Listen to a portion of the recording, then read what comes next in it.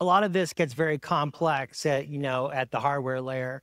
What are you seeing coming next?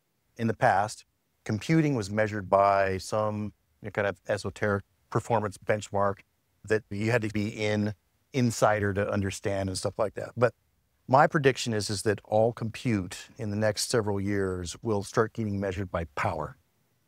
How much power does it consume? And it's going to be able to process AI, right?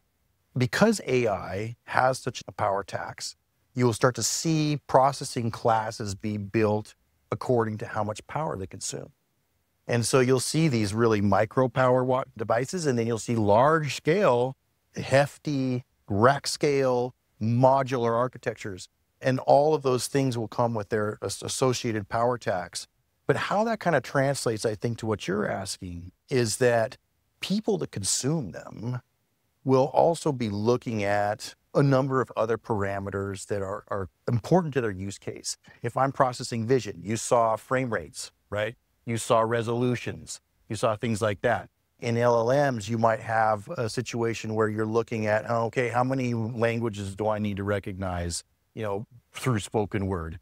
All these different parameters will kind of, again, dictate the size and configuration of those models. And then those models will start to be able to be processed by a certain amount of power. And I think that's one of the biggest things I think we'll see simplify the complexity of all of these different layers that are in AI now.